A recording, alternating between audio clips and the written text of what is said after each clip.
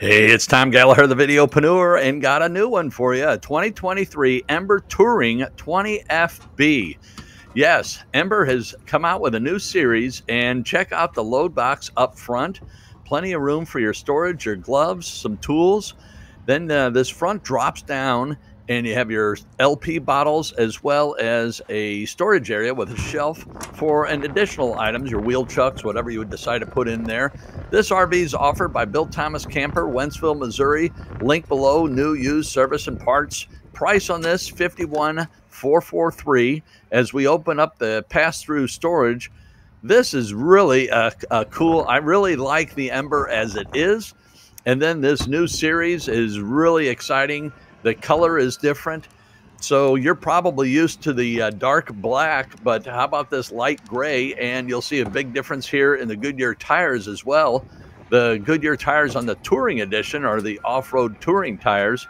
And then this is more of a street tire. So here we have the pull-out griddle or grill, and then the uh, dormitory size and style refrigerator. So you have your outdoor kitchen and uh, in talking to a lot of people, they prefer the outdoor kitchen uh, or having an outdoor kitchen. Keep some of the, the uh, smells and some of the mess and clutter outside when you're uh, enjoying the camping.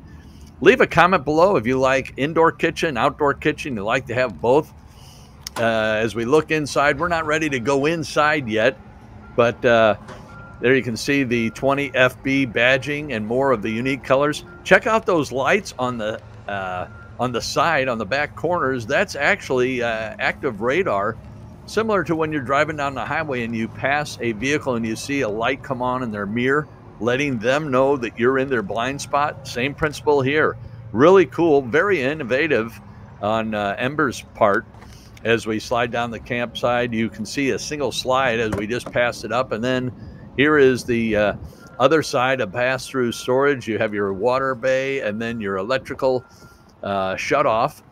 And check out the doors, two handles on each, which when you're trying to shoot a video and open with uh, one hand, it's overkill. But boy, uh, it gives you a secure area, or not a secure area, secure doors. You can see two handles there and two handles on the outdoor kitchen. So this RV sleeps three, one slide, as I mentioned. Length is 26.6. Exterior width is eight feet and the exterior height as we step inside. Get a load of this this interior. I think you're really going to like it. The uh, exterior height is 11.5. And you can see your flip out TV, your flat screen TV, and then just by barely letting it swing, it locks.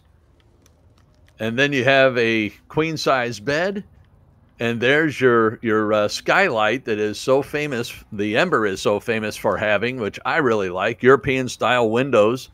Then you have your screen and your sunshade. Check out the size of that couch. Really a big couch. That's a, one of the upgrades in this unit. Microwave, your kitchen area.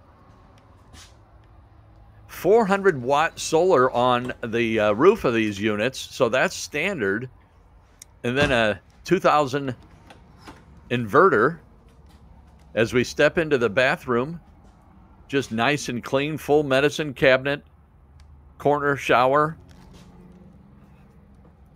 What do you think of the Ember? Do you like it uh, as much as, uh, as it's a very popular unit? I certainly do like it. Hitch weight of 750, dry of 5803. And then as far as your tank capacities, fresh gray and black, 55, 35, and 35.